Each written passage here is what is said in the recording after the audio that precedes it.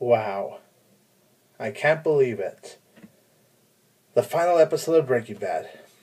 I am 22 Tiger Dude. I am in my Heisenberg look. I hope you enjoy it. I'm here to review the series finale of Breaking Bad.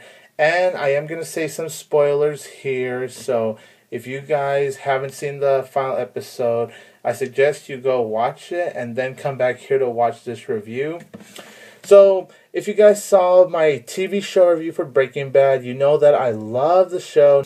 I'll leave a link to my Breaking Bad TV show review the description box below if you guys want to check it out.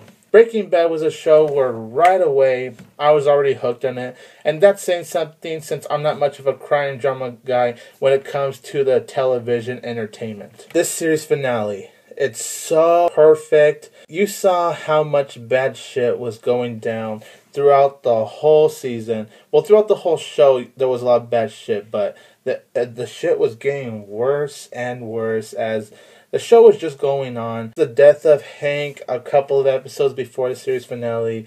That was just depressing, but at least Hank's death it was meaningful and Hank wasn't afraid to die and he was basically ready and I respected the guy for that. It is sad to see him go because Hank was one of my favorite characters of Breaking Bad. But we see Walt come home and he's pretty much saying goodbye before he dies because it was his 52nd birthday and that was his final day to live. When Walt came over to Gretchen Elliott's house, oh my god, that was such a very dark, very intense scene. Just the way Walt was interacting with them. When you saw those red beams pointing at Gretchen and Elliott, you're all like, holy shit, they're gonna die.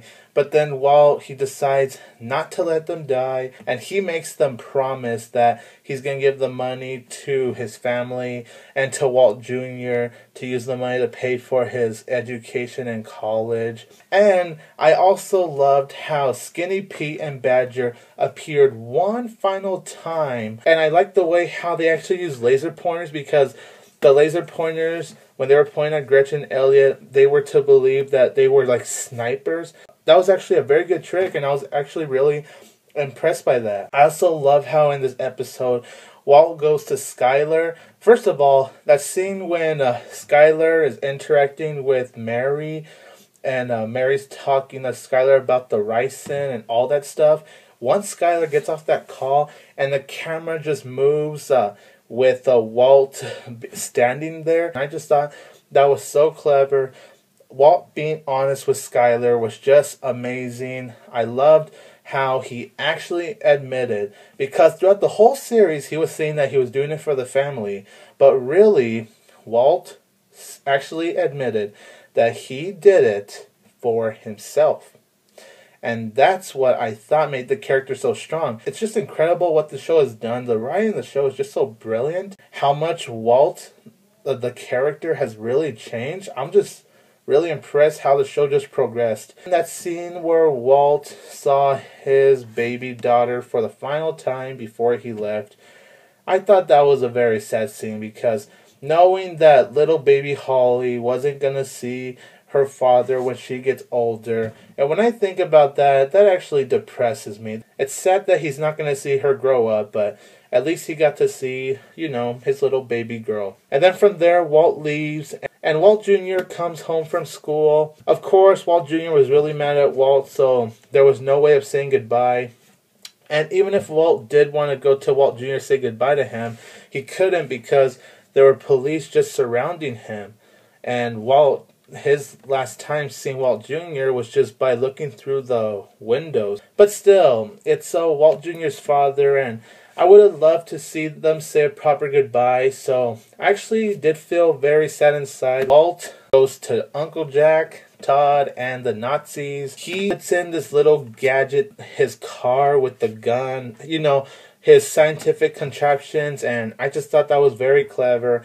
And holy shit when that gun from the trunk was just shooting and shooting all over the house with everyone dead except for Uncle Jack, Todd, Jesse, and Walt. I thought that was awesome. I was actually getting happy inside just seeing that.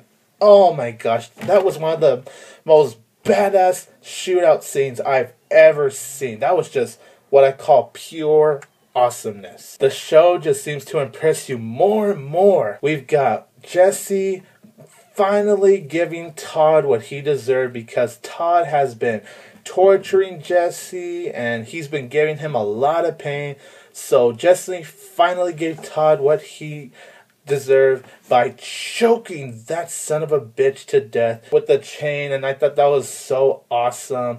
Also, Walt shooting Uncle Jack and the way the blood just splattered around the screen, I just thought that was fucking brilliant. I loved it. Everything about the show was just so incredible. And then we go into Walt and Jesse. They don't speak words with each other, they just give each other the looks. Jesse going his separate ways. The final time we see Jesse is him going inside that car, speeding through, breaking through the gates, and the guy is just so freaking happy. It's freedom for him. So it looks like Jesse's gonna start a new life, and it looks like the that part is gonna tie into Need for Speed. no, I'm just kidding. Imagine if that part actually tied into Need for Speed. I, I would buy into that. Still, that was cool to see Jesse be happy. Walt, we see him go into the meth lab. Just, he saw the mask one more time. And then he saw that the police was coming. You see blood prints. The guy falls down and Walt dies. And we all knew that Walt slash Heisenberg was going to die. So I thought that was really cool and really brilliant for the show to do that. It just gave everything that you really need in the show. If I do have to bring a nitpick, just a nitpick, not a problem. My only nitpick with the series finale is that I wish they would show what happened after Walt died, like how life is going without Walt, everything with Skyler, Walt Jr. and Holly, the things going on with Mary, what happened between Jesse and Brock. I kind of felt like the series left a little plot hole because you never really got to see Brock, and even when his mom got shot, they didn't really show the kid. I wish they showed Brock at least one last time because it felt needed, and it kind of left a bit of a little plot hole there. I think that would have been nice to see after that scene Walt died, but overall, I am very satisfied with Breaking Bad. I am sad the show's over, but I'm mostly happy it's done because I don't want the series to overstretch Thank you, Vince Gilligan. You are brilliant, man. You are so talented. Please, dude, I really hope you will write and direct films. I would love to see you go into the movie making business. Bryan Cranston, you're amazing. Aaron Paul, Bob Odenkirk, Anna Gunn, Betsy Brandt, Dean Norris, RJ Mitte, and everyone that was involved in the show while you were on screen in the show or just have something to do with the cameras of the show, the creative consultant, the writing, whatever part of job you have for Breaking Bad, great job. Thanks for creating such a great crime drama show. I'm giving the series finale of Breaking Bad a 10 out of 10.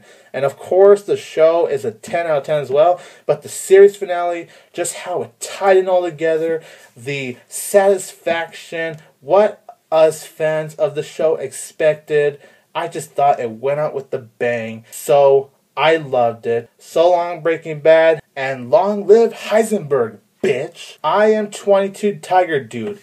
You're goddamn right. I will always have Tiger Power!